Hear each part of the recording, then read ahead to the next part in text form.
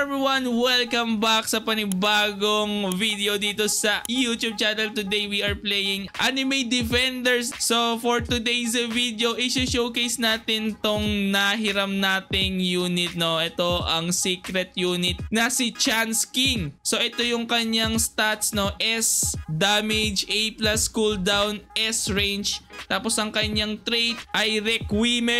O ay Requiem Wano. So i-showcase natin hindi ko pa to nakikita yung itsura nito. Pero titignan natin ng itsura nito guys kung anong itsura. Tignan natin kung maangas ba to. Ito guys, ang pinakamurang secret. Ito yata yung pinakaunang secret na pwede nyong makuha. No? Hindi ko alam kung totoo ba yung sinasabi ko pero basta yon. So una muna natin gagawin. Lagay muna tayo ng pink rockstar dyan. So ang kanyang presyo is 2,500 gemos. Okay? Yun ang kanyang ano. So tingnan natin. Visual effects on natin. Tapos low quality off para makita natin yung full quality natin dyan. Okay, i-drop na natin siya bago pa tayo matalo. Okay, so ito ang kanyang dropping. Boom! Let's go! Boom! Ang kanyang first skill guys ay tawag ay Verdant Strike. Angas pre. So meron siyang damage na 6,231 SPA niya is 3.2 seconds. Ang kanya namang range ay 19.8. Next upgrade ay 10,450. Cooldown is 2.8 seconds. Range is 21.1. Tapos upgrade number 3. Maalak natin ang kanyang bagong skill. Viridian Blitz. Yes sir. Tignan natin. Boom! So from circle AoE, magiging line AoE na siya. So multi-hit ba siya guys? Multi-hit? I think multi-hit siya kasi sumusuntok siya ng mara. Oh, multi-hit nga. Very nice, very nice. Maganda siya para sa shielded enemies. Okay, upgrade number 4, 19,462 damage. Cooldown niya is 4.9 seconds. Ang kanyang range is 23.8.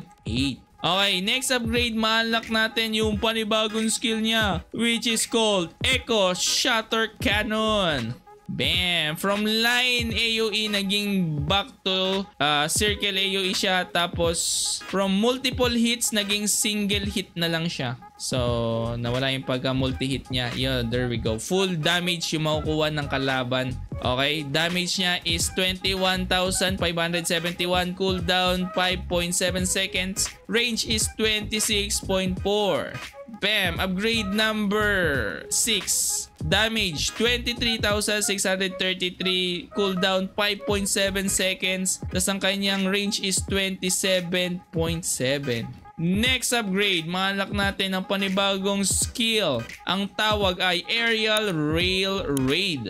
Okay, medyo ano yun na, nakakabulol yan ha. Bulol pa naman ako sa R. Pero, upgrade na natin siya. Naging mas malaki siya. Boom! Boy! Nang babato ng tren! So I think 3 hits yata siya, 3 hits. Multi-hit tapos 3 hits kasi tatlong tren yung binabagsak niya. So ang kanyang damage na ay 26,413. Ang kanyang cooldown is 5.3 seconds. Ang kanyang range is 34.3. Okay, napaka napakalawak na niyan boy. Mangas yan. Next upgrade. Upgrade number 8, 29,000. 193 cooldown 5.3 seconds range is 37 Okay, okay. Next upgrade. Ma-unlock na ang bagong skill. Titanic Rail Slam. Titanic meaning barko. Oh my gulay. Is that a boat?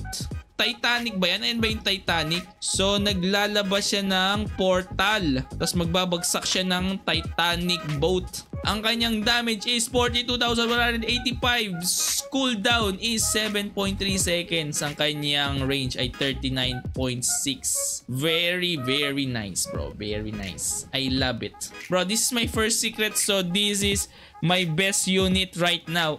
Salamat sa paghihiram no kay Kobe. Shoutout sa iyo Kobe. Maraming salamat sa pagpapairam ng secret unit. Bam! Upgrade number 10. Meron na siyang 45,061 damage. Oh my god. Cooldown is 6.9 seconds, bro. That's a nice number. That's your favorite number. Comment down below kung favorite number mo yan. Range is 42.2.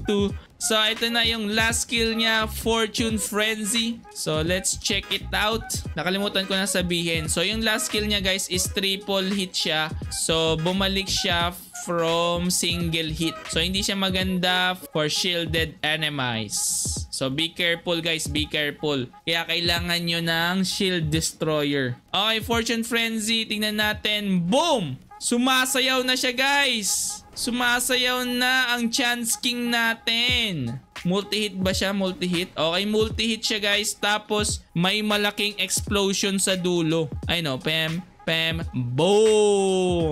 Okay, by the way, hindi ko pala nasabi sa inyo kung ilan ang pwede nyong i-drop. So, ang pwede nyong i-drop na Chance King ay dalawa lang. Good rate sa kanya is Almighty since dalawa lang pwedeng i-drop.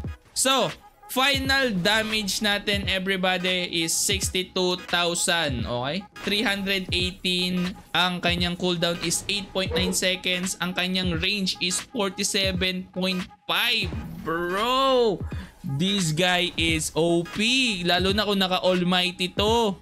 So that's it, the Chance King Showcase. No, maraming maraming salamat sa inyong panonood. I hope you guys enjoy. If you do, be sure to leave a like, subscribe to my YouTube channel, and don't forget to ring the bell para ma-notify ka every time ako ay nag-a-upload ng bagong video at nagla-livestream. No, maraming maraming salamat sa inyong panonood and I will see you guys on the next video. Everybody, paalam.